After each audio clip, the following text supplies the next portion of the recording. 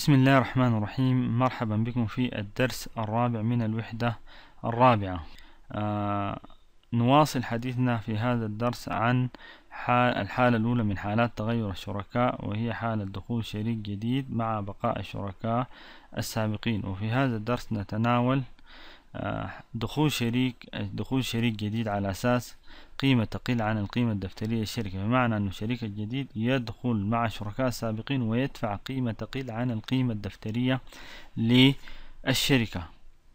وتتضمن هذه الحالة صورتين هما أن يتفق الشركاء على أن لا يتغير مجموع رأس مال الشركة بل يدخل الشريك الجديد عن طريق شراء أجزاء من حصص الشركاء السابقين بمبلغ يقل عن القيمة الدفترية للأجزاء المشتراه أنه يدفع قيمة أقل من القيمة الدفترية للأجزاء المشتراه وفي هذه الحالة تتأثر سجلات الشركة بالتدفقات آه النقدية لأنها تمت بين الشركاء أنفسهم وتمت خارج الشركاء وإنما الذي تتأثر به سجلات الشركة هو نقل جزء من حصص الشركاء السابقين إلى الشريك الجديد. ونأخذ مثال على هذه الصورة. أن شركة تضامن يمتلكها زيد وعمر برأس مال قدره مليون ريال. قررت إدخال عدنان شريكا ثالثا فيها بنصيب خمسين ألف خمسين في المية من الشركة.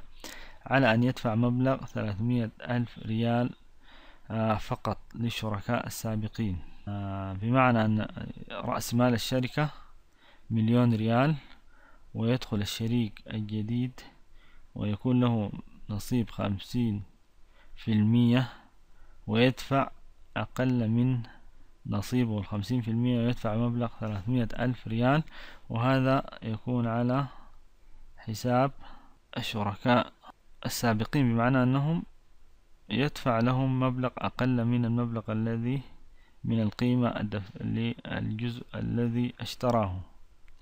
المطلوب تسجيل قيد اليومية اللازمة ويكون قيد اليومية في هذه الحالة كالآتي من حساب رأس مال زيد ميتين وخمسين ألف ريال من حساب رأس مال عمرو ميتين وخمسين ألف ريال إلى حساب رأس مال عدنان خمسمية ألف ريال. بمعنى أن شركاء الشريك الجديد أصبح له نصف رأس مالها البالغ مليون ريال أصبح له نصف هذا المبلغ خمسمية ألف ريال. وتم تحويل أنه شراء الشريك الجديد جزء من أنصبة الشركاء السابقين. بمعنى أن تنازل آه، زيد بمبلغ ميتين وخمسين ألف ريال من رأس ماله إلى رأس مال الشريك الجديد وكذلك تنازل الشريك عمرو عن مبلغ ميتين وخمسين ألف ريال من رأس ماله إلى الشريك الجديد مع العلم أن الشريك الجديد دفع مبلغ ثلاثمية ألف ريال وحصل على رأس مال في شركة بمبلغ خمسمية ألف ريال.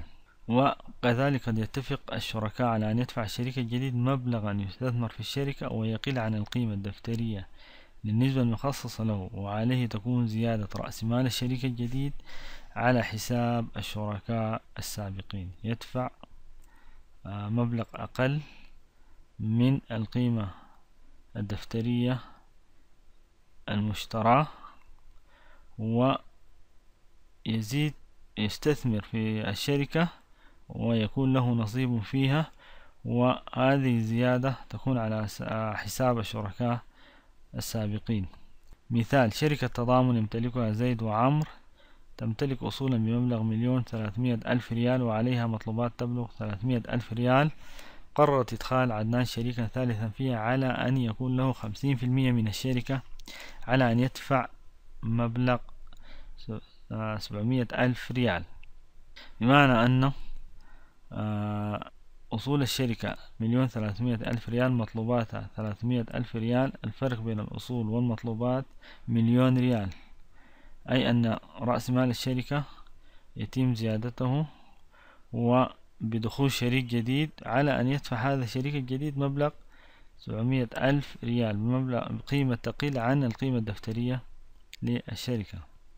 المطلوب تسجيل قيد اليومية اللازمة. قيد اليومية لازم يكون كالآتي من مذكورين سبعمية ألف ريال حساب البنك وهذا المبلغ الذي دفعه الشريك الجديد اللي هو الشريك عدنان ورأس مال زيد خمسة وسبعين ألف ريال ورأس مال عمرو خمسة وسبعين ألف ريال.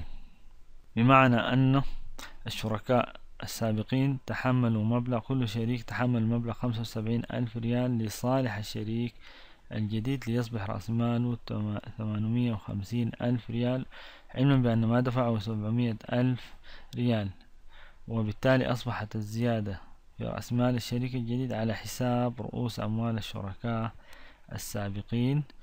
أي أن الشركاء السابقين تحملوا الزيادة من آه للشريك الجديد وذلك من رؤوس أموالهم في الشركة.